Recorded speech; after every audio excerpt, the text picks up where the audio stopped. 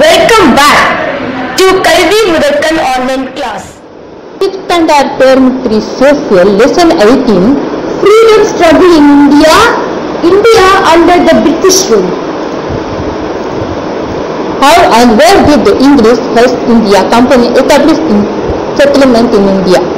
The English East Indian Company established its settlements in India at Masulipatnam.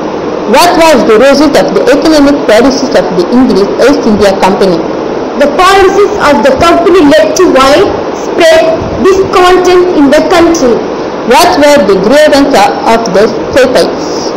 Indian sepoys of the company's army were unhappy over their low pay and lack of promotional opportunities. Why were the former rulers of the native states angry with the company's government?